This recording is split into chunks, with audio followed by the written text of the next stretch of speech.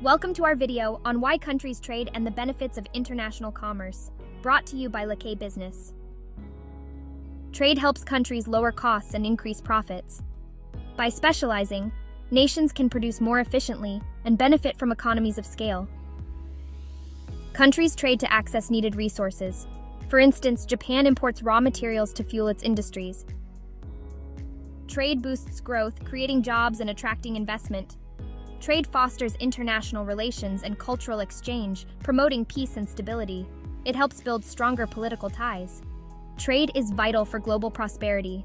Understanding its benefits and challenges helps us navigate the complexities of international commerce. Thank you for watching. If you enjoyed this video, please like and subscribe for more insights. For all your trade needs, contact Lakay Business at info at lakaybusiness.com.